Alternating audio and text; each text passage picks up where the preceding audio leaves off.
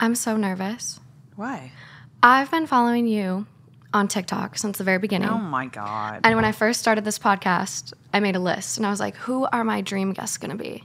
And you were the first one on it. You're so sweet. So I'm very excited to have you. I'm so happy to be here. If you're watching on YouTube, you already know who it is. I don't even think there needs to be an introduction, but if you're listening, we have Tinx on the podcast today. So excited. So excited. So you're kind of a little relationship guru. Mm-hmm. Your people love you. You're mm-hmm. asking me anythings.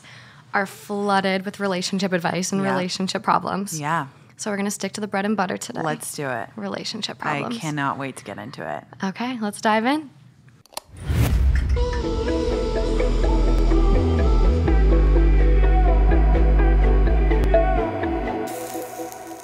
So we're gonna start with a listener write-in. Okay. The title is "Engaged After Three Months." Okay. Oof. Yeah, pretty fast. Sorry, I'll, I'll reserve judgment. Let's keep going. no, I like it. I like it. Speak, uh, speak from the heart. My 24 female friend met a guy on Bumble, 24 male, in August of 2021. My friend group has met him once, and he seemed okay at first. To give a little background, my friend is the life of the party. She loves to dance and have a great time. She is very chatty and always positive. Since she started talking to this guy, she has become passive aggressive, negative, and won't touch alcohol. Extremely out of character for her. Myself and my friends expressed our concerns for her leaving events early, lying, and just not acting like herself. She got very upset and started defending this man she barely knows. Me and my friends chose to ignore it and hoped the storm would pass and she would break up with this guy. Well, come Christmas, he proposes to her. They went on a little trip where he proposed as soon as they got to the hotel room. How romantic. And her exact words were I had a 32 minute panic attack on the bed before I could give him an answer. Like, excuse me? She is so deep into the honeymoon phase of this relationship, she doesn't see any of the red flags. The one time we met him, he ordered a well done steak at a four star restaurant. Dot, dot, dot, dot, dot. She's already talking about a house and kids, and she still lives at home with her parents, and so does he. In fact, he doesn't even have a job. At first, they were going to be engaged for a few years before tying the knot. Well, now the wedding is in August, and we have no clue what to do. Please help. Oh, wow. That is honestly worse than I thought. It's pretty bad. It's pretty bad. I think off the off the bat, I'm going to say this is a classic case of boyfriend sickness, which is one of mm-hmm. my terms. And boyfriend sickness is a very very serious illness, and it, it's on a scale from one to ten. Um, this sounds like a ten to me. This is, yeah. This is a 10. This is off the charts. And basically, boyfriend sickness is where you your personality begins to change, and you start to treat your friends differently based on who you're dating. And I have actually had it two and a half times. I've recovered, made a full recovery both God. times. Yeah, Thank Mm, God. I, I only had it like a four, four, four and a seven. Um, but this girl obviously has it super bad, and why it's so concerning is because her personality is changing, right? The way that she's, you know, treating her friends is is different. Um, and you know the fact that the the the writer mentioned that she was lying, Mm-hmm. um, that she's leaving early, she's not hanging out with them one on one. Also, the fact that they've met him only a handful of times, and this is you know there's there's so many, I don't even know where to begin. There's so many red So flags. first of all, I think this is boyfriend sickness, and and one thing I'll say like right when when in the beginning of the write-in was like she said, "Oh, she's the life of the party. You know, she's so fun." And sometimes, like those people um, can be a little impulsive, right? Because they're they're like they love the the high impact, the the you know that rush of energy. Like that's one that I have.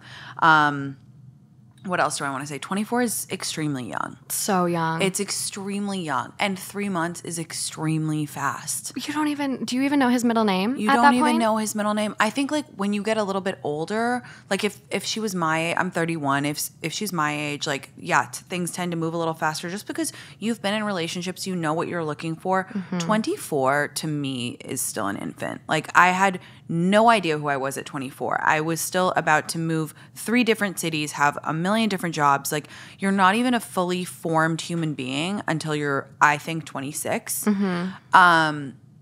so that is really concerning and it's just it's sad and in these situations it's so painful for the friend group because you know you are not only worried for your friend but you're also losing your friend Yeah. um also the fact that he doesn't have a job Very concerning. Like, Um, it, totally, th- things are tough right now, but like, you know, you would hope that someone would make sure that they are stable before. Like, it takes, in my mind, two people who are in a good place to form together to make a good, solid foundation for a marriage. Yeah. You know, if they were just messing around, that's one thing. But if they are truly going into this thinking like this is going to be there forever, like, I don't know. There's a lot. There's Yeah. a lot to unpack here. completely agree. Especially talking about a house and kids. Like my first thought too, unemployed. I'm like, okay, well, what does the ring even look like? Yeah. I'm a materialistic bitch yeah, sometimes. no, but but it's like yeah, that that that definitely. And so wait, sorry, did is he living with hi- her? par- She's living with her parents. This girl. he lives. She still lives at home with her parents, and Yeah. so does he. So I'm not sure if it's Yeah. he's living with her or if he's just at home. Either way, it's not like it's not giving um, maturity. It's, No. it's not giving stability. Um, the whole thing seems super impulsive. Also, like the trip and like right when they, to me, it sounds like this guy might have some issues because you know why is he proposing so fast? Why is he, um, you know, like I would love to know how old he is. It didn't say. 24. Oh, he's twenty four. They too. met on Bumble. Okay, they're both 24. Mm-hmm. Okay. Yeah, I mean, gosh, I know that some people meet their forever person th- that young, but it none of the language it wasn't like, wow, they're so perfect together, but I think they're a little young. It was like everything about this is screaming wrong Yeah. and also they're babies. she's changing her whole personality. It sounds like she's Um, yeah. really muting herself to fit him. And that's what boyfriend sickness does is it causes you to lie to your friends and like oh, the worst part of boyfriend sickness is that you you genuinely think in your head like oh like my friends don't know the real him. No, your friends and your family always want the best for you. And mm-hmm. that is one of the worst symptoms of boyfriend sickness is you you get that twisted in your mind. You think they don't know him. They don't they they just want me back to my party days like this this and that. No. Nine times out of 10, your friends are simply concerned for you mm-hmm. and they miss you and they just, it's concerning. Like I always say to my followers, a boyfriend should either make your life not change at all or enhance it. Mm-hmm. Like that's the only two things. Like either he just slots right into your life and it's good or he makes it even better. He doesn't make you lose friends. He doesn't make you do impulsive things. He doesn't try to get married in 3 months. Like this is all this is all wrong. Completely, completely agree. Yeah. If you're listening, because I know this is a listener right in, just send this episode to your friend maybe. Yeah. Well, oh, so so sorry. We really didn't say what my. I tend to think that with a when someone you're friends with is has a bad or a partner that you're concerned about, I think you have one shot. Is what I always tell people. Like, you know, sometimes people will give you a window and say, "Oh, what do you think of Bill or whatever," or you just kind of have to go for it. I do think in this case because it's so severe, you are within your right to to sit her down and say, "Listen, like we're so happy if you're happy, but we just want you to know we feel this is so fast and um, you know, we've noticed some changes around you. We want you to be happy. We we love you so much, but we're just wondering like, you know, have you thought this completely through?" Yeah. It reminds me of the show. Did you see Marriage or Mortgage on Netflix? Oh, oh my god, do I need to watch? It's really good. It's dramatic. It's with these two women in Nashville that like pick couples and they go through looking at houses and looking at wedding venues. And at the end of the episode, they pick marriage or mortgage. And so there was this young couple. I think they were like 22, maybe not even done with college. One played basketball, one did something else. Yeah. And so they were picking. Their parents were either going to give them like $125,000. So it was like, it basically covered their down payment Yeah. or their wedding. And these dummies, they both lived at home with their parents. They picked the the wedding. wedding. Yeah. And after the wedding, they both went back to their parents' house and that's where they both lived. You're joking. Married. You're joking. no. It was I like literally wanted to just punch my TV off the wall. I was like, Are you are you serious? That's super frustrating. Your parents were handing you a house. Yeah. Life is life is short, but it's also long, and you got Mm-hmm. you got lots of time, girl. So if you're listening, please. August is very soon. Just have another thought before Oh you go through God, that. yeah. Yeah. Pump the brakes. okay. Next one is from the archives. Ooh. Seven years old. Okay. My husband, male 26, sent me, female 26, an immature, inflammatory email as I was driving to the airport for a 10 day work trip. Now he has cut all contact. My husband and I have been together for five years, married for two of those years. We just bought a house five months ago. No kids yet. Our lives have been crazy busy though. We spent all spring renovating our new house. At my job, I was given nearly double my usual workload after some of my colleagues were laid off. I gained some weight in the winter and have been busting my ass at the gym to get rid of it. Yesterday morning, while in a taxi on my way to the airport, husband sends a message to my work email, which is connected to my phone. He's never done this. We always communicate in person or by text. I open it up and it's a sarcastic diatribe basically saying he won't miss me for the 10 days I'm gone. Attached is a spreadsheet of all the times he has tried to initiate sex since June 1st with a column for my quote excuses using verbatim quotes of why I didn't feel like having sex at the very moment. According to his document, we've only had sex three times in the last seven weeks out of 27 attempts on his part. This is a side of him I have never seen before bitter, immature, full of hatred. In person, he'd been acting normal the whole time, maybe a little standoffish in the last week, but completely out of left field. Our sex life has tapered in the last few months, but isn't that allowed? We are adults leading busy, stressful lives. I cook for him, I do his laundry, I keep our house clean and tidy. It's not like our sex life was going to be this way forever. It was a temporary slowdown due to extenuating circumstances. I immediately tried phoning him three to four times before getting on the plane. No answer. When I landed in my destination city, I tried calling two more times. No answer. I texted him saying we needed to talk, and he needed to call me at his earliest convenience. No response. He's never intentionally ignored my communications before. I pretty much stayed inside my hotel all evening waiting by the phone, then cried myself to sleep. It's now morning and he still hasn't contacted me. I am supposed to be visiting clients for the next nine days on behalf of my company, and I'm an emotional wreck. Why is he putting me through this? What the hell am I supposed to do? Wow.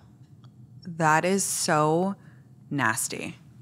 Despicable. That's the word that comes to mind. That is so nasty and cruel because this is someone that you're not only supposed to be in love with, you're in a marriage with. You have built a mm-hmm. life with this person for five years.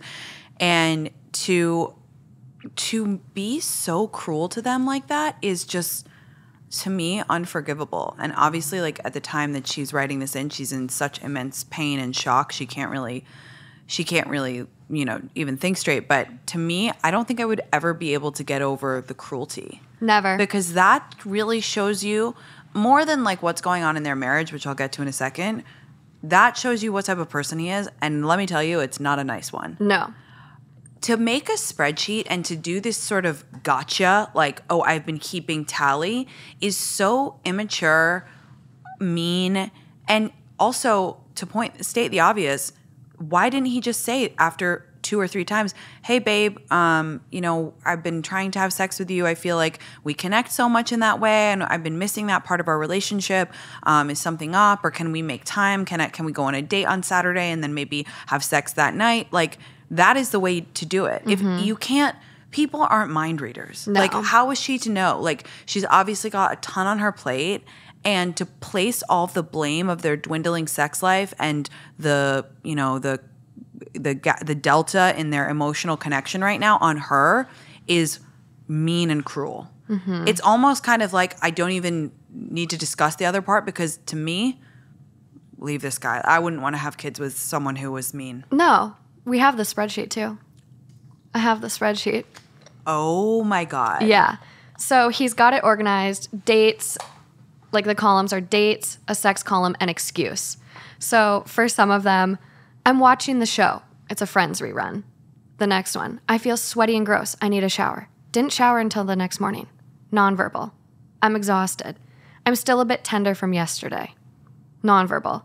I'm trying to watch the movie. Fell asleep 15 minutes later. I'm too drunk and ate too much. All valid. I like excuses. Yeah, and like also, by the way, it's like sex ebbs and flows in relationships, especially in long term Mm-hmm. relationships.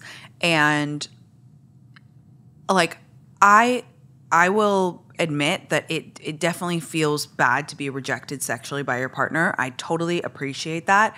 But the worst thing that you can do is then like turn around and be like, this is your fault. Because she might be completely oblivious that she's rejecting him. Like she might be completely overwhelmed with work, you know, not feeling her best. She said she gained some weight. Like there's sex is so it's it is different for men and women. Mm-hmm. For women it's it's I think far more emotional. It's a lot more to do with your mental state that day, you know, how you're feeling about your body, how you're feeling about work. Like we really internalize things. Why do you think it's so much easier for men to orgasm than women? We we have to be in the right mental most of us, I know I'm generalizing, but most of us have to be in the right mental state. We have to be relaxed. And obviously, she has so much going on. And instead of supporting her and, you know, talking to her as an equal, as a partner, he's turning around and and using this as, as some sort of a gotcha. Mm-hmm. That's one part. And then the cruelty of it all, not to not answer the phone after he's dropped such a bomb and and to do it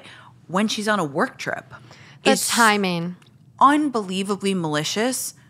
To be honest with you, if I were her, I would be like, this is not for me anymore. Oh no, this is this is a marriage ender for me. Uh, for me, yeah. I think the timing, the way he set it up, he did it on purpose so she wouldn't be able to have a conversation in person. She wouldn't be able to fix it. He wanted her to stress and be in her head. Yeah. That's why he's stonewalling her like this. Well, and also, you know, when I think about it, when I'm after thinking about it for a few minutes, it's actually eh, clear that he has trouble communicating, right? Because he didn't come to her like an equal and discuss their sex life in a timely manner. He wait till it he waited till it was all built up. And then he sent this awful dropped a bomb of an email and then refused to talk to her. So clearly, he actually doesn't have the the maturity or the courage No. to speak to his wife who he's been with for 5 years, which to me is just despicable. I know they are 26 too, which is young, but like, so they got. why you shouldn't get married too young. I know. Well, they've been married for two of those years. So Oh, they, okay, They yeah. got married for tw- at 24. Yeah. But like, So to the girl before, do not get married. point in case, case in point, whatever the um, saying is. Yeah, that's really. I'm. That's so mean. I just can't get over how how mean that is. Ugh, terrible. And also, like, I want to point out too, she says, like, I cook for him, I do his laundry, I keep the house clean and tidy. I don't think a lot of guys realize, like, they they're like, oh, well, my partner didn't ask me to do any of that. It's like, Yeah. no, like, you're gonna have a happier wife. You're probably gonna get more sex if you just do some of those things. Yeah. Take the weight off her plate. It's a partnership. I mean, for the love of God, it's. I know this is a, an, a from the archives, but today, you know, if you're in a if you're in a relationship and you're thinking about how to how to divvy up the tasks of the house, like, come on, it's it's 50-50 and it's just not. We just can't have the women doing all the cooking and cleaning and, and, and the job and, and being the sex machine. I mean, come on, what's going on? We can't do it all. No. As much as we'd like to believe. this was posted seven years ago. There's no update on it. So we have we have no idea. I wish I knew. I hope What I hope up she's with a really sexy, loving guy. I hope she's like with a chef who lives in Brooklyn who cooks her like delicious toast with ricotta every morning and goes down on her a lot. That's just my wish for this person, This sounds like the dream. right? Doesn't everyone want that? Everyone deserves that. I love that. well, speaking of sex, guys, do you lose interest in a girl if you have sex on the first date? it has happened to me several times over the years that guys lose interest on getting to know me if we have sex on the first date. I've been at most offered friends with benefits because they, quote, don't see me as girlfriend material.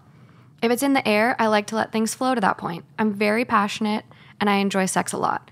For me, the best type of sex would be in a relationship, though, so I do meet people with intentions of getting to know them. I find it interesting that having sex soon would, quote, not make me girlfriend material. I don't base my boyfriend material criteria on if a guy has sex with me, but in overall compatibility, how he treats me and others, and his overall character.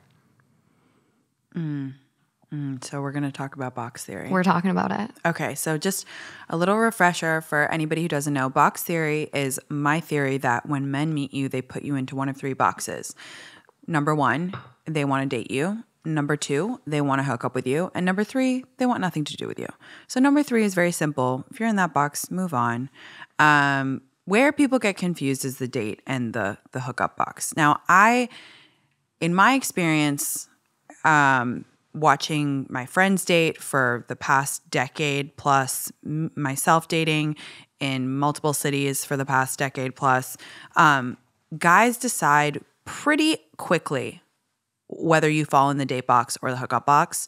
Um, and there's not a ton that you can do to alter what they think of you.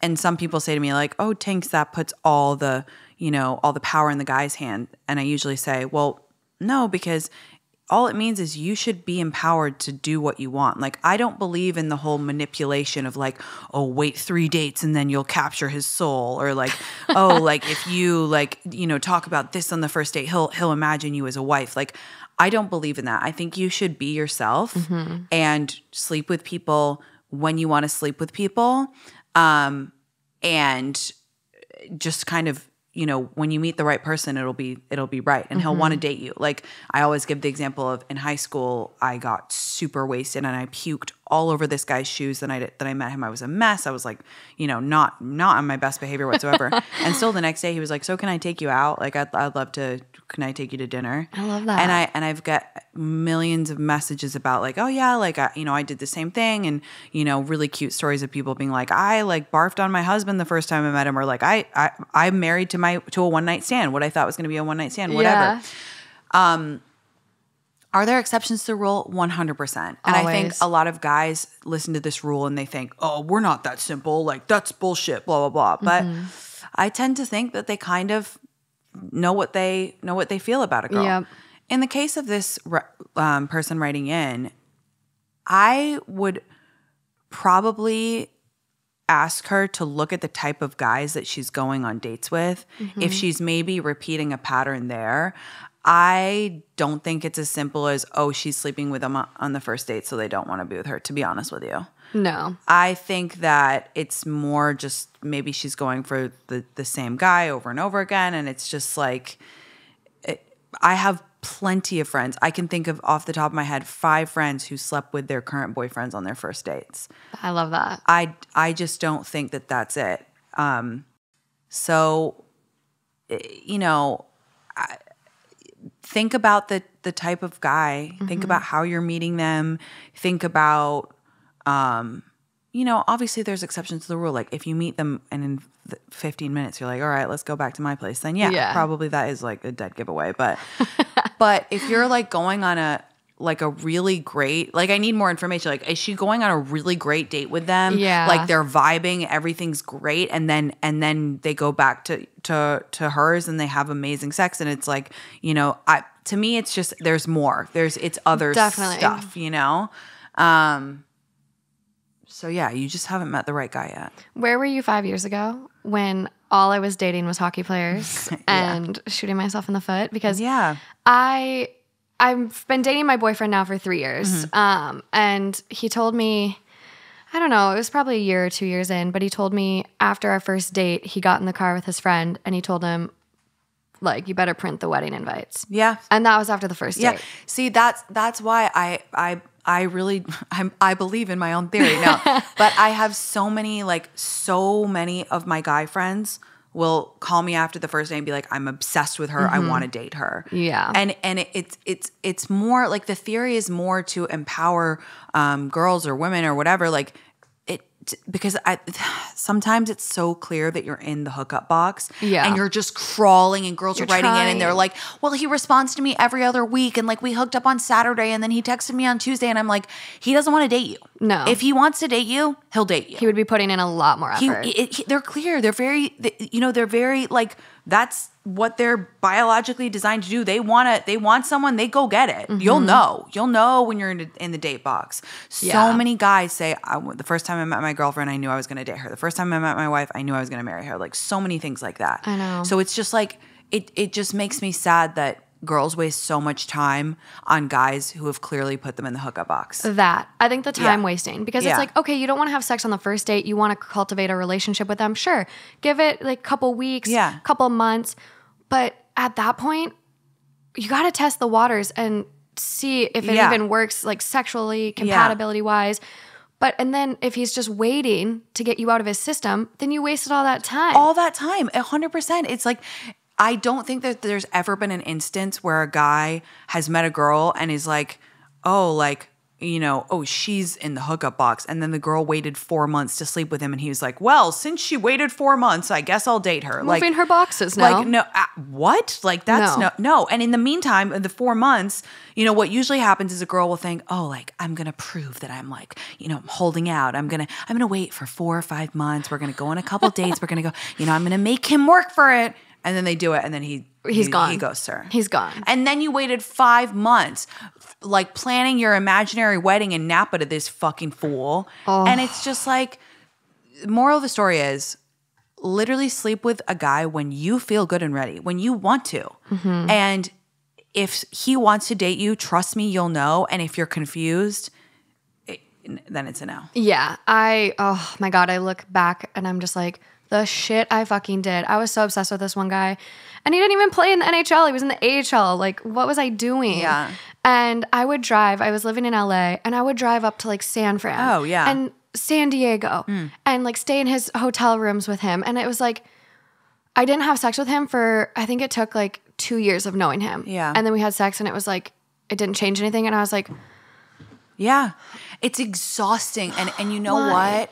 It's just like it's so clear to look back. And I'm sure now that you're in like a happy relationship, now you Mm-hmm. have such clarity. You look back and it's like, dude, when you met your boyfriend, I'm sure it was just like it worked. It's just easy. It's not, it's Mm-hmm. there's no mind games, there's no drafting texts in the notes app of your phone. They just want to date you and you want to date them. And I just wish my whole thing with box theory like time saving because I spent a lot this is not coming from a high and mighty place. I spent literally my most of my 20s being like, well, maybe if I just do this or maybe if I put this on my story that will make him think that I'm this and that and that and it's like enough with the gymnastics. Mm-hmm. It's it doesn't work. it doesn't work. No, it- And nor should it. No, it it shouldn't be so hard. No. Like yeah, you're always going to have to like go through conflict and learn how to work with each For other, sure. and, but it shouldn't be No. that hard. No.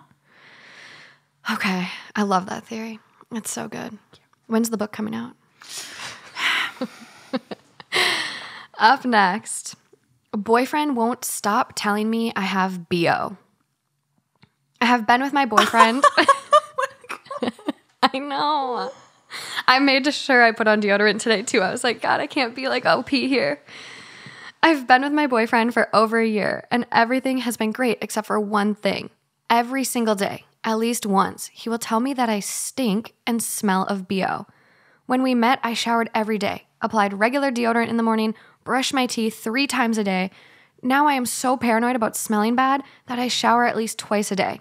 I apply new industrial strength deodorant every few hours. I have a reminder on my phone. Perfume, and I brush my teeth every time I eat or drink something that isn't water. I feel like I'm going crazy. I didn't think I smelled bad in the beginning, and I don't think I smell bad now, but I obviously smell bad to him, right? I'm that weirdo that keeps sneakily smelling my own armpits. I've been to the doctor and he has said there's nothing medically wrong. It has honestly gotten to the point where I literally shove my armpit in friends and family's faces, asking if I smell bad. They all say I don't smell like BO at all. One friend even said I smelled too clean, like a Lush store. I'm getting so paranoid he won't cuddle or anything when he says I smell. I really don't know what more I can do. Um, don't do anything, break up with him. Oh, this that's is so that's sad. that's some psychological mind game stuff. That's Yeah. that's not like there's two there's t- in my mind there's two directions that this could go. And like either he has truly like the worst sense of humor. He has like what I call little brother humor where it's like the least funny joke but they keep saying it over and over again. Like maybe maybe it's that in which case you're a sick fuck buddy like please move on. Or, but more likely this is some i'm not trying to be like over dramatic this is like trying to keep someone under your thumb. This is a method of control um, and it's psychological warfare and it's deeply unkind and mm-hmm. the, the thing is like her friends or family would have said something the fact that she's been to the doctor he gaslit her so hard. she went to yeah, the doctor. Yeah, that's that's nasty and so mean. And like to make someone feel I had a really, really awful boyfriend who I don't even talk to my followers about that much, but he would do stuff like that. You know, he would just say he would say things like over and over again. He would be like, well, you're not that cool. You know, you're not, well, you're not that cool. Like uh, kind of over and over again. And at first I thought it was a joke. And then it kind of like started getting in my head. And I was like, is that true about me? Or he, you know, he would just say things like, I don't like this at all. To Well, me, what's the like when people do stuff like this and what you went through? Like, what's the fucking point? Do you even like me? Why are you with me then? it's it's a method of control. That's what's the scary thing. It's it's it's Yeah. chipping away at someone because if you say something enough to someone, even if it's completely untrue, she's a human being. Mm-hmm. You know, she's going to start to get paranoid, and that's what's so nasty. Like. I think that that's really mean, and I I think he sounds like a terrible person, and I think she should dump him. So you're right on the money. There's an update on this Oh, one. there is. Oh my god. So, update. I waited for him to make a comment this morning so I could talk to him. It was less than an hour after waking up, and he said, quote, God, you stink. I had already showered and put on deodorant. I snapped and asked what exactly was he smelling because at this point, I'm one of the cleanest people on the planet. And if I still smell bad to him, then we should just break up. He got all panicked and upset. I eventually got out of him that this is what his father always said to his mother. Apparently, his father told him that it was a surefire technique to have women never leave you because, quote, she will feel too low to cheat, will love only you, and will always be clean. Needless to say, his father is wrong. He's packing his things and moving out of my house today. I I wanted to be very careful about this word that I used before, but now that I say it, I do want to say that that's psychological abuse. Absolutely. And that is so disgusting. And I am, wow, I'm so happy that she broke up with him. Thank what a God. nasty man. What a nasty. And I hope that that father knows that he is awful. The poor mom I'm, to deal with that. I'm, that's heartbreaking. And like, so mean. I feel bad for him. Like the top comment on this, holy shit, that update. His father basically groomed him to be an Yeah. emotional abuser. yeah. What? Horrific. Absolutely. I hope that that boy Just gets so some sad. therapy and tries to unlearn what his awful father taught him. Mm-hmm. Um, and I'm glad that that girl is free of of nasty, nasty Thank God. abuse. Thank fucking God. Whew. This next one, we're, we're kind of getting into the thick of it. Like I these, love it. these Yeah, people are Let's do it. heavy hitters. Okay, ready. I, 22 male, was worried girlfriend, 22 female, was cheating. So I hid in her coat closet while she was having a girls' night at her apartment. Her friend found me, obviously humiliating me and girlfriend. Is there any way to recover from this? I guess this is all in the title, and I have a feeling Reddit isn't going to be too kind to me, but I really screwed up and don't know where else to turn. I got some weird vibes from my girlfriend this week, and when she said she didn't want me to come over last night, I was really concerned my worst fears were coming true. I was so panicked, I decided to hide in a coat closet she never uses to see what was up. It turns out she was just having a girls' night, and my girlfriend basically told her friends all the same issues she's talked to me about work, failing LSAT, gyno problems, etc., and was even very complimentary of me. I felt super guilty, so I figured I would just stay put until she went to bed, then I would quietly leave. Shit hit the fan when a friend spilled something, and girlfriend told her to get the vacuum out of the hall closet. I was in the coat closet in the entryway. To my absolute horror, the door opened and the friend screamed when seeing me. My girlfriend was furious, and I didn't even try to lie. I said I was worried she was acting weird, and I decided to spy on her. I sat there in an apartment of four women, more humiliated than I have ever been. It's a shame like I've never felt. My girlfriend just said to get out and never call her again. This morning, she texted me that her dad and brother will be at her apartment from 3 to 5, and I need to come get my stuff and bring hers over. That was all she said. Is there any way I can recover this relationship? God, I mean, listen, like. I feel for him in that the way he's written it, I can kind of tell he's not a bad guy. Yeah. That being said, if my follower, if she was my follower and she wrote in that that happened, I would say, you've done the right thing, never speak to him again. Never. Because the thing is, if it's happened once, it will happen again. And it's, it, it's for him, it sounds like he has a nervous attachment style. Um, and maybe also that he's a bit immature and doesn't know kind of how to have a conversation with his girlfriend. Completely. Yeah. I mean, This is giving me Joe it's from giving you. it's giving Joe from you. Yeah. Uh, you know, I, I don't I don't really think that there is a way to recover it, nor should there be, because it is a complete violation of privacy. Mm-hmm. Um, I don't believe in going through phones. I don't believe in spying on people. I don't believe, to be honest with you, I don't even believe that thing that they do on TikTok, the like, ooh, check if my boyfriend will cheat thing, where they have someone like DM him. I just like, I disagree with that too. I, re- I, just- if you're at that point in your relationship where you need to hide in a closet, have a stranger on TikTok Yeah. reach out to your partner. yeah.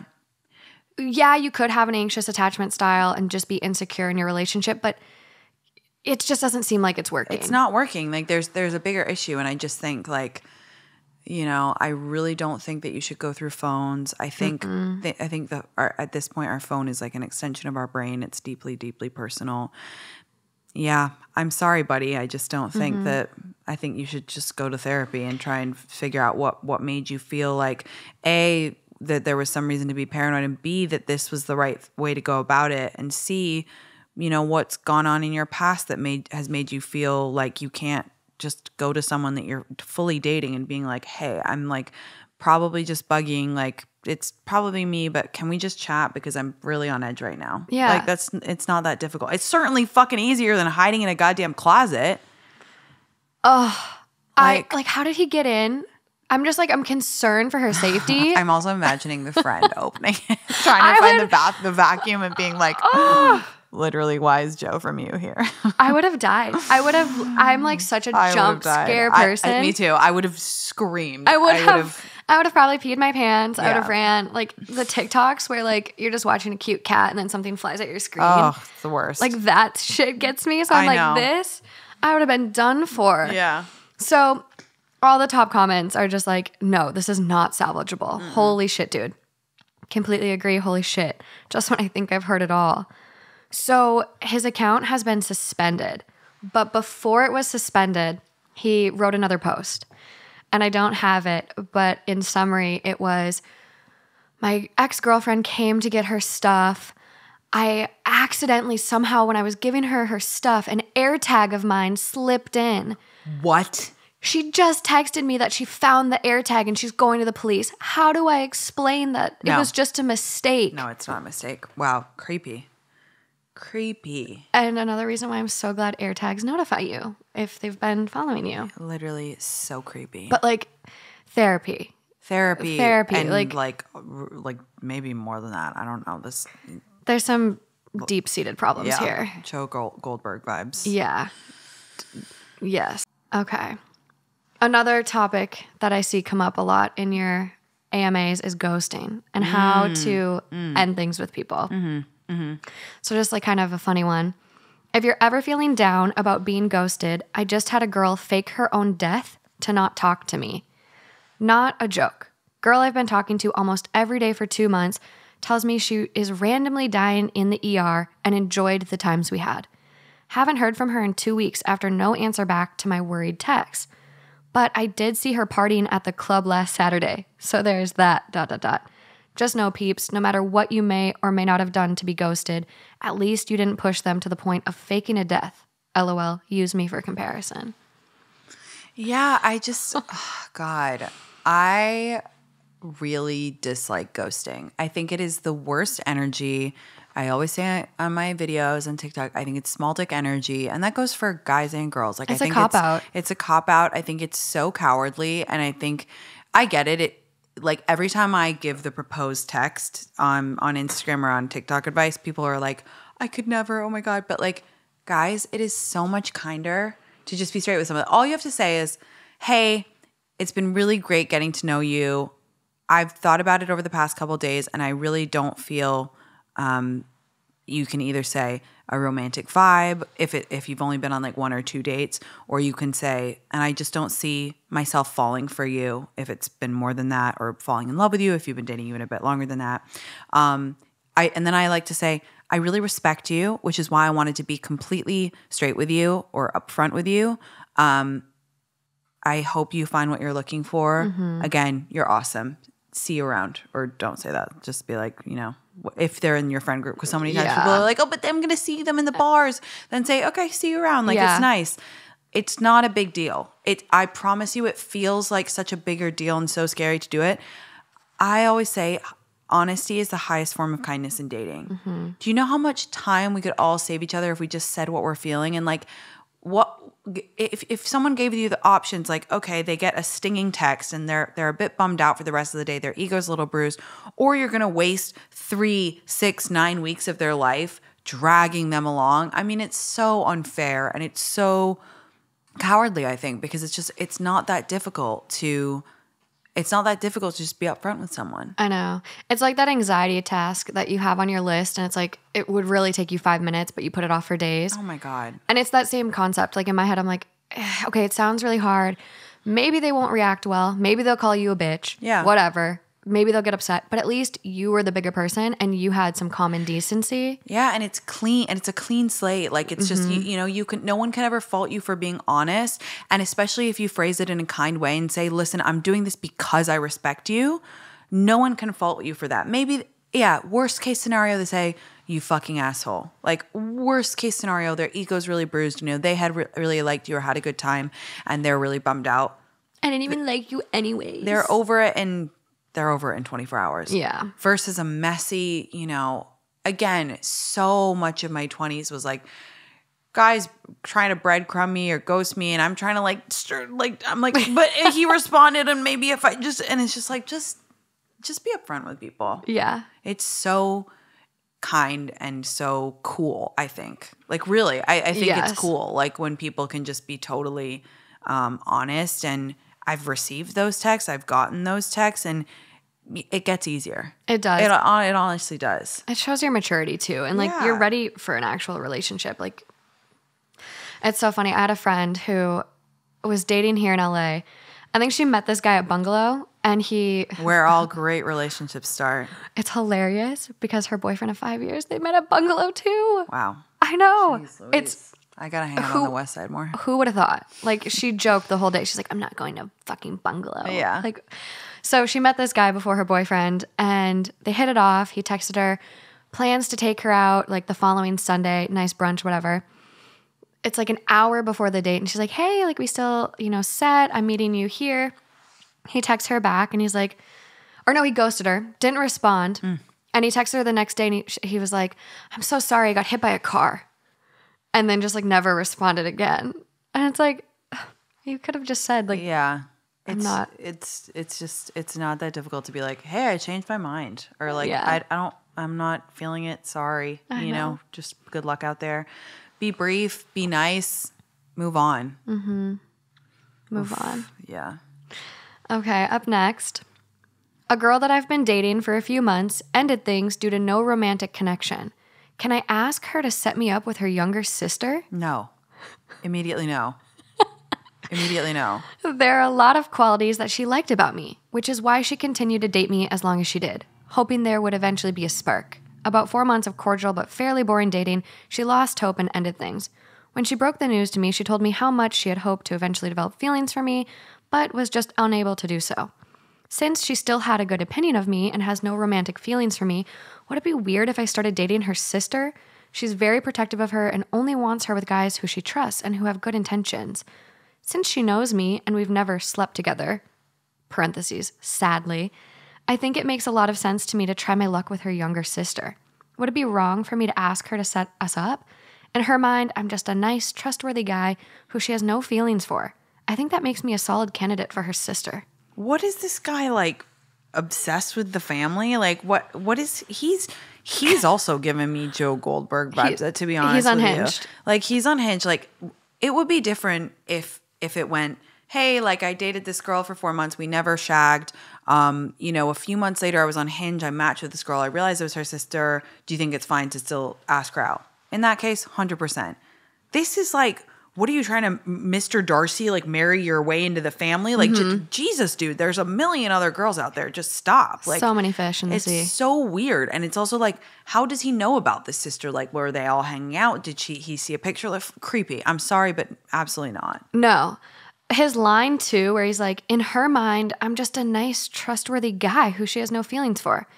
And it almost makes me wonder, okay, but who are you actually? Like if you're if you're like in her mind, Yeah. it's like, well, was that an act? Well, okay, an- another another creepy thing.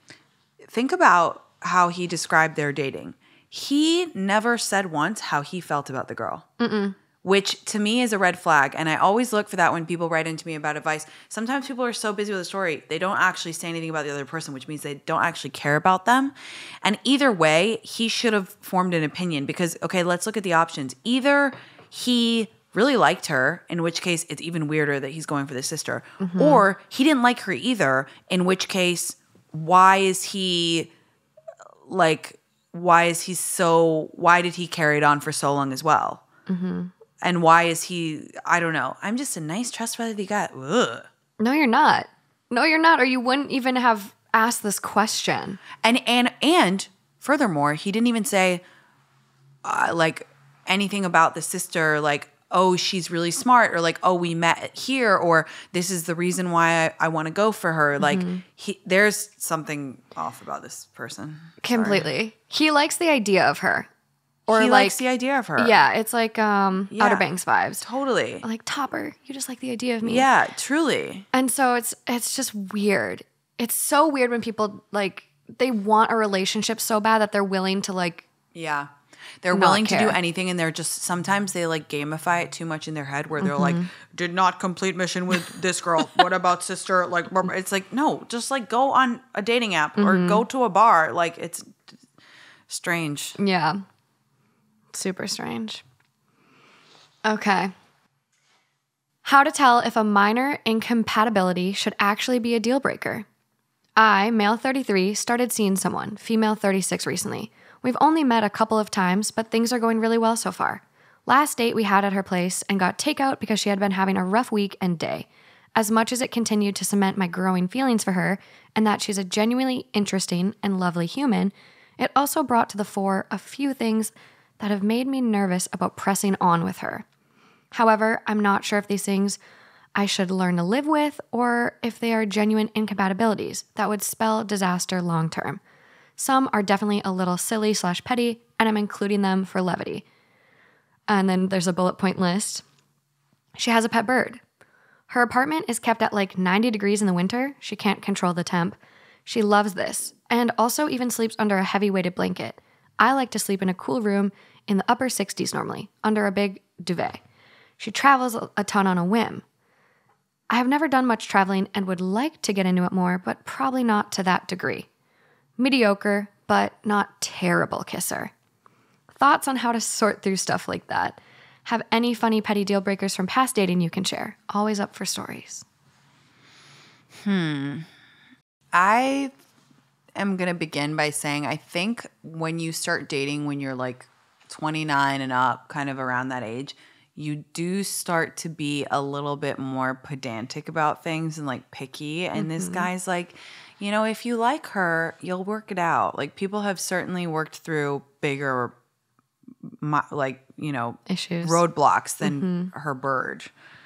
I mean, to be honest with you, I'm going to be completely dick on the table here. If I walked into a guy's apartment and he had a bird, I personally would know it's not a match. Oh, absolutely. But I wouldn't even question it because that to me is just like not something I'm going to vibe with. No. The fact that he's made this list, first of all, tells me he doesn't really like her that much because if you like someone, you're literally blind to every small mm-hmm. inconvenience Especially this early on. especially this early on. And then secondly, it's like, buddy, like, why are you making this list? Like, why are you like, you got too much time on your hands. Like, he needs to get out of his head and into his body. He needs to go on more dates, have fun, like, have a real spark with someone. And then he won't be making these like pros and cons lists. Like, uh, by the way, I love a pros and cons list, but not at this stage in the relationship. no, it's too early. And and like not about a freaking bird. no. Like, so I would say A, I don't think he likes her that much, in which case, really just don't don't waste her time and don't waste your time. And secondly, like, just like feel the vibe. Would this be an ick list to you? Does that is that what I guess he's like? written an ick list. Yeah. Those are for girls only. Sorry, that's a TikTok thing. Um, no, I'm just kidding. um, but yeah, he he wrote his own damn ick list. The ick, li- the ick list is powerful. You can't How does it work? I've never had one. Okay, so the ick list is for if you're dating. I think it's a great trick for women because we we tend to future trip and we tend to like overly romanticize a guy. Like we'll we'll Yeah. go on one mediocre date. The date will be like a six out of ten, and we're like, oh my, I just think our kids are gonna go to school here, and like I think we'll we would like like this is what my wedding dress is gonna look like, and so it's to like it's to like pump the brakes and to just like chill your shit because there are always those moments, those like funny moments when you're you start to date someone and then they'll like do something like super weird, and you're just like, hmm, okay, that's. hmm, eh Yeah. write it in your phone, okay?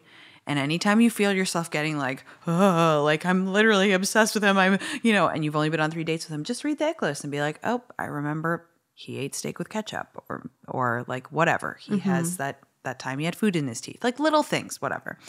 Um, and then why I like to keep the ick list. Then okay, say it all goes well, whatever. You start dating, you're in love, blah blah blah blah. You break up, you're having a mentee be pull that ick list back out, baby, Mm-hmm. and just stare at it because it really does help you get over a, a breakup. My most recent breakup, I was looking at the ick list. I was just like repeating it. Like all my best friends knew it off by heart by the end of the breakup. They were like, "We we remember." He did the thing. um, so I it's, it's just a little. It's just a little trick.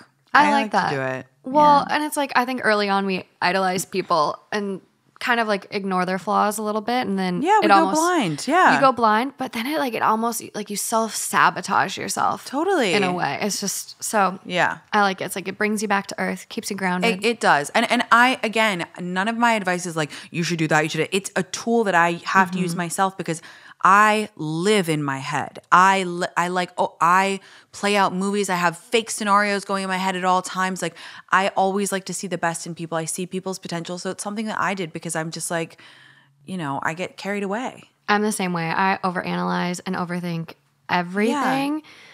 So yeah, this this would have helped me. I think especially if you're an optimist and you tend to always see the best in people, you can mm-hmm. get you can fall really hard really fast. So it's just mm-hmm. like a little trick like, you know, to keep in your back pocket. Yeah, I really like it. Okay, I'm saving one. I'm ending on a light note. So I'm- Okay. I'm, passing one now. Okay. I, 21 female, am a university student. My boyfriend, 23 male, is studying cosmetology and works as a hairdresser. Recently, he insisted that he give me a haircut. My hair has been growing since the pandemic began and was at mid back length when he made the offer. I was initially reluctant as I had no plans on getting a haircut. He then offered to give me the cut at half the price offered by his salon. I thought it was a good offer as summer was approaching quick and the price was reasonable too, so I agreed to it. The next day, I went over to his apartment for the haircut. Before he began, I made it clear that I wanted a shoulder length cut and nothing shorter than that. However, he started cutting my hair way shorter than shoulder length. I asked him to stop, but he continued saying that he knew what he was doing. When he was done, my hair was in an uneven, chin length bob. I was furious, as I had specifically asked him for a shoulder length cut. He even offered to even the bob out, but I refused and stormed out. I went straight to the salon where a friend of mine worked and asked her to fix my hair. She gave me a pixie cut. When I returned home, I was pretty devastated. Not only did I have my hair cut way shorter than I asked for, but I also ended up paying a lot more than expected as fees to the salon. I switched on my phone only to see two unread messages sent by my boyfriend. He first apologized for the cut he had given me. He followed this up by asking me to pay for the cut. This struck my nerve, as I felt he did not deserve to get paid even a single cent for his horrible job. I texted him back telling him that I will not be paying for the cut and asked him to just leave me alone for the day. It has been a day since the cut, and my boyfriend hasn't messaged me since. I'm wondering if I might have been too harsh on my boyfriend. I literally hope you never see this guy again. Okay, first of all, let's backtrack. First of all, the fact that he charges charged you Charges your girlfriend are for you, a haircut? Are you sick in the head? Are you mentally ill, buddy? Like, bro, it's your girlfriend. it's your girlfriend. and you asked her. You said, "I want to give you a haircut." Okay, number that's number one problem. He's That- worse than a fucking telemarketer. That's that's red flag number one. That's that's to me grounds. If my boyfriend was like, "Oh, I want to give you a haircut, and also can you pay me for it?" I'd be like, "Goodbye. It was nice to meet you. See you later. Peace out." terrible. Then the fact that he went against your wishes is like bizarre betrayal of trust, whatever, blah blah blah. Assault. Assault, yeah, literally, Literally like, assault. and then the fact that he like saw you were so upset, saw that you had to pay extra, and still asked you for the money, like immediately no.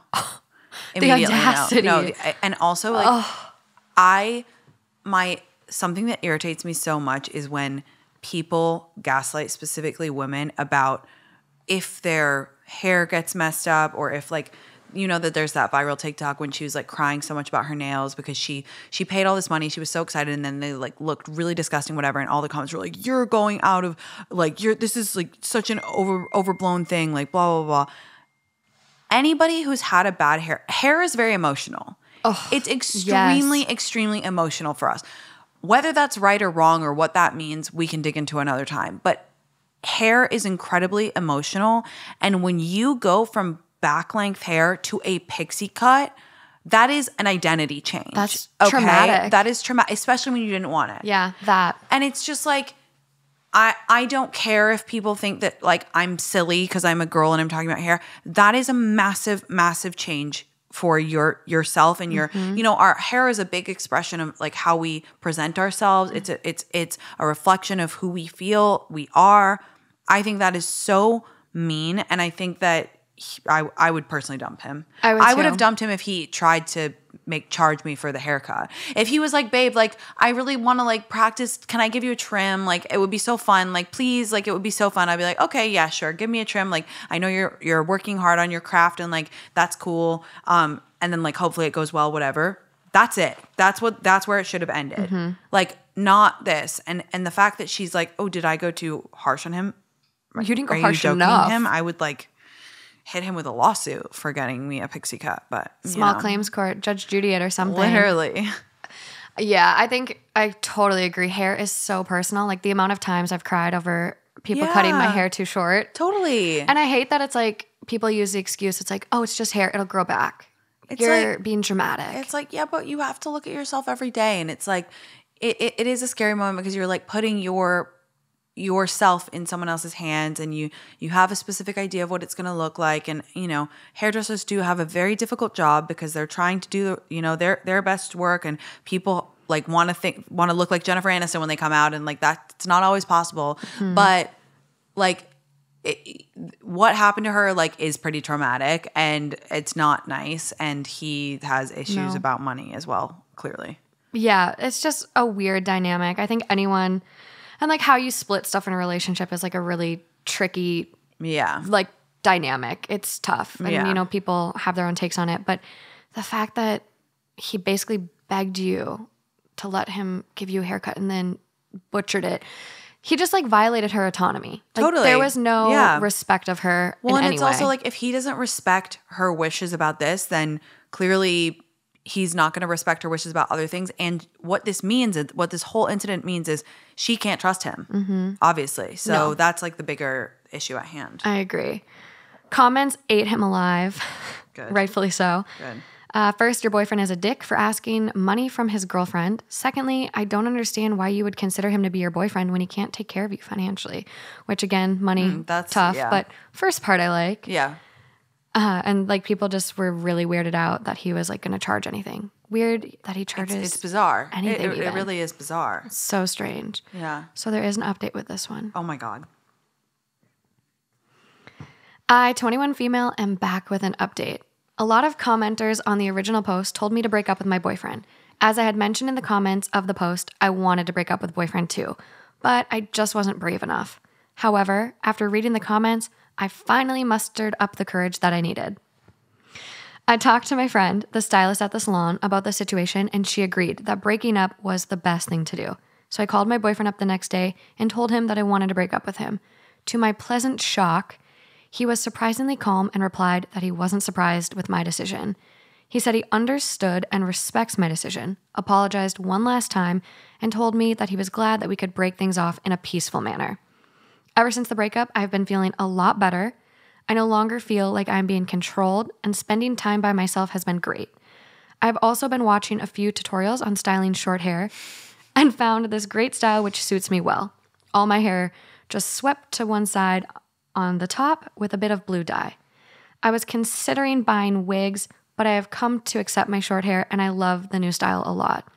As someone who had their hair past my shoulders my entire life, I would have never guessed that short hair suits me so well.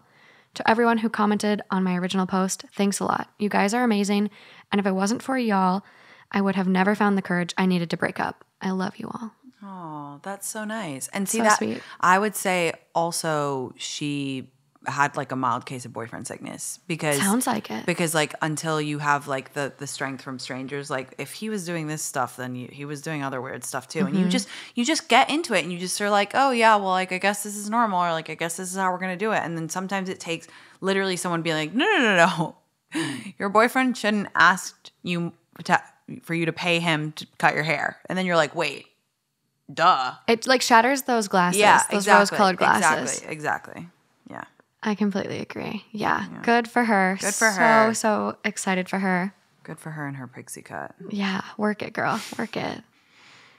Last one. okay My boyfriend eats tuna by candlelight. he eats tuna fish sandwiches in the bathroom by candlelight and calls it a vibe. I didn't find out about this until today, just now, when he got up and said he was going to make some tuna fish sandwiches for his bath and asked if I wanted to make some and join him.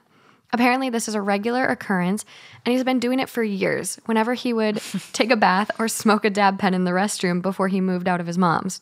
I'm not like upset.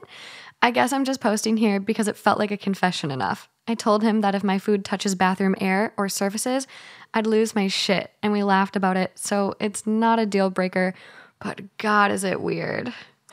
i actually disagree okay Is this your dream guy? Um, so like, okay, so a few things. I wanna I wanna do a disclaimer that I don't like when my food touches bathroom air either, although sometimes I have a glass of wine in the bath. However, I think in this case, you know what? Everybody has, or everybody should have, a few little weird rituals that they love. And in this case, I would say to her, don't yuck his yums, okay? Because every, I love, I love that. Like, I, I love, an old timey phrase, and like sometimes, you know what? He's not hurting anybody. I happen to adore tuna, so like, go off on your choice of bath snack. yeah. Um, and you know what? Sometimes you just like to do weird stuff by yourself. Okay. I do weird stuff by myself. I have weird eating habits that, you know, are strange and I like to do them. And and it's like, you know, your thing. And it, it- again, you're not hurting anybody. It's not weird enough. I actually think it's really sweet that he like makes himself a tuna sandwich I and, think and it's goes to the bath. Like I think that's sweet. It's adorable. This is like a guy admitting his self care routine. And Yeah. Being confident in himself. Yeah, and you know, I feel like oftentimes guys don't indulge those little. I always talk to my followers about like sparking joy with little things in your day. Like when you mm-hmm. have like a strange urge to do something kind of silly or childish or whatever, like do it because that's nice. And I don't feel like guys like play that much or they have that kind of goofy, you know, think about all the things available to women to just relax and unwind. We have face masks, we have manicures, we have, you know, like fun little stuff that we can do in our house. And I think this is really sweet. I think Tuna Eater is a keeper. I, I agree. I I love him, and I think it would be nice if you joined him in the bath once once once in a while because it's Give it his a thing. try. But once in a while, I would get some really good tuna and join him, and it and just say, you know what, I think it's nice that you do this. I think it's great. I, I, think it's really it. sweet. Yeah. Maybe not tuna. I'll go the rotisserie chicken route. Uh, yeah, I see. Okay, that's a perfect example. That's all I eat. for if you don't follow me, I'm obsessed with rotisserie chicken. I like to eat a rotisserie chicken standing up straight from the bag with a fork in my kitchen, always wearing a bathrobe. Okay. And some people might think that that's lame or gross or whatever, but I love it. Mm-hmm. Also, sometimes I like to eat one in the car, in the parking lot. Okay. And that I think is on the same level as bathroom tuna. And you know what?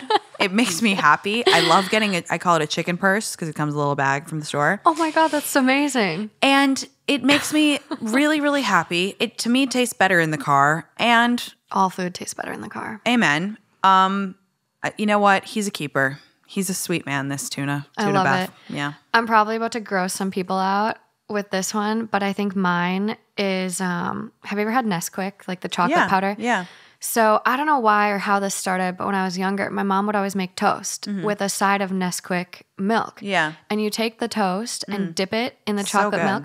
Have you tried it? No, but I do lots of weird Okay. things like that. But I'm sure it's delicious. It's amazing. Toast and like chocolatey, yummy. It's It's, good. Unreal. And then like Wendy's chicken nuggets and a frosty. oh, Chicken nugget or fries in the frosty. I do a fry in the frosty Yeah. for sure. Yeah, I good. I do literally. You know what? When you're at home alone, you just create some weird stuff, and you Mm-hmm. just. I will tell you. uh, We can end on this. This is really bad. I don't do this anymore, but um, I went scared. through a phase of. I would get butter and I would dip it. I would take up like a stick of butter and I would. I ate sticks of butter as a kid. and then dip it in cocoa powder. It is the best thing, you guys. How how big are your bites?